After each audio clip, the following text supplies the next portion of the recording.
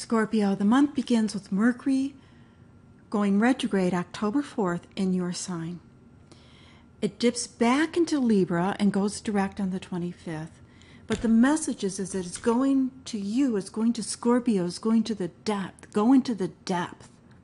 And then take it back, take it back to Libra, take it back to the sign behind you, which is what you don't normally see, what you don't normally pay attention to, what you can't see because it's directly behind you, that spot four inches behind your head.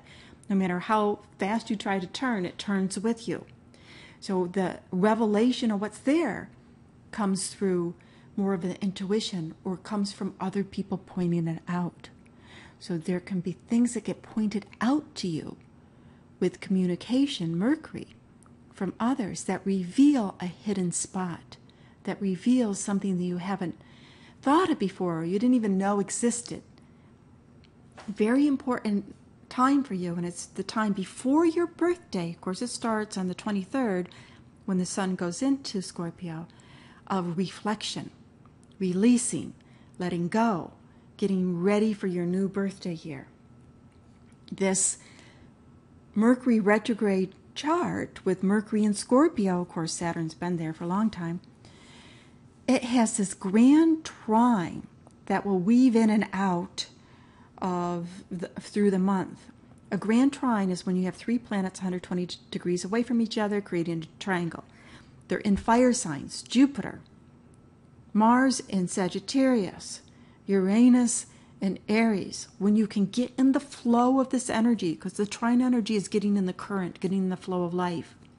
And for you, around what you how you want to be seen in the world, where you want to put your effort and energy, where you want to be inspired and making some changes in your daily life and your health and your routine and your the sense of your vitality, putting energy and effort in, into that.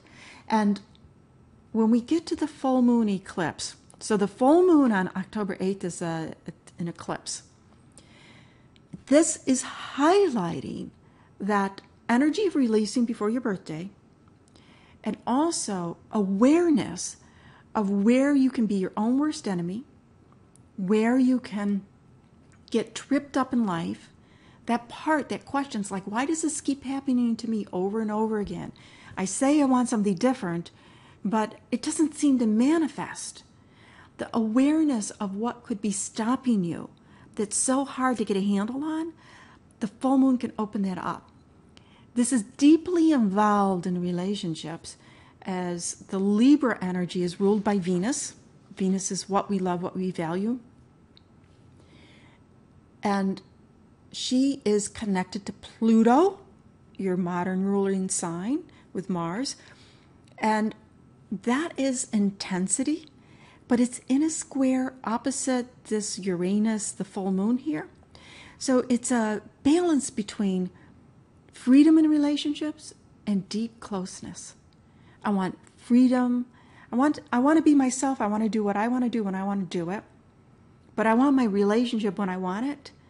And trust issues if you do not have trust in a relationship, if a relationship is not on a foundation of understanding, mutual agreements, mutual respect, this between the full moon eclipse and the new moon eclipse, things can get kind of rocky.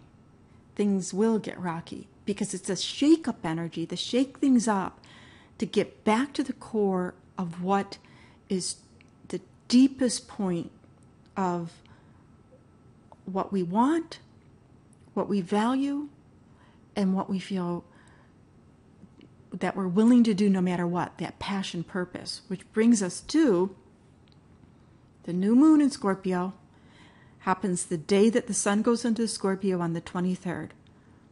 Venus goes into Scorpio on the 23rd, connecting to this new moon solar eclipse and reiterating that see venus is involved with this eclipse so relationships that aren't the right relationships can get quote unquote eclipsed it and the message is to have in your life what brings you a sense of purpose that get you out of bed and you feel very deeply passionate about and purposefully driven. Like, this is really what I feel I need to do no matter what.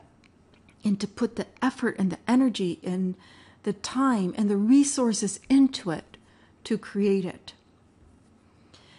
The ruling planet, Mars, traditional ruler, had just passed what's called the galactic center, and which is 27, 26, 27 degrees of Sagittarius, and that is a point that represents aligning with the center. I mean, just think of symbolically.